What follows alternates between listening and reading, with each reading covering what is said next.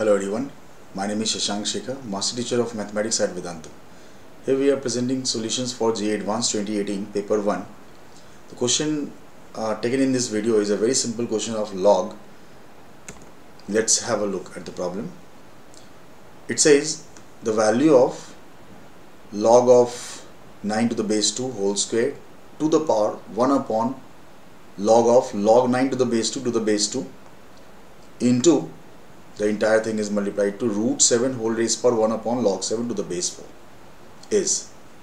So let's have a look at the uh, solution. How can we solve it in an easy manner? Very simple problem. Usually, I mean, special problem on log is very rarely asked in JEE. But okay, 2018, paper 1.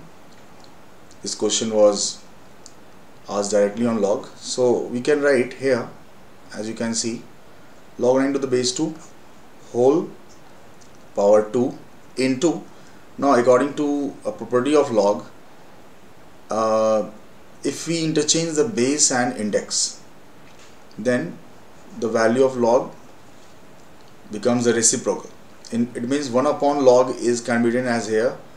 Log now the base will be log 9 to the base 2 this is again a number some number here the index would be 2 and the second term is 7 raised per half root 7 into you can again interchange the base and index log 4 to the base 7 now again you can write here if I in this in the first term if I take log 9 to the base 2 as some number a so I can write it as a raised per log of not 2 into log 2 is log 4 do the same thing a.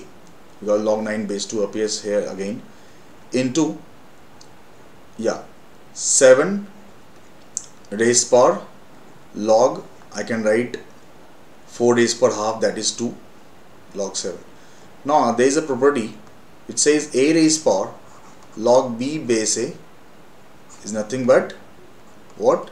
B. So here in both the terms I can write here directly 4 here directly 2 so answer to the uh, final answer to this question must be 8 so 8 is the final answer to this question.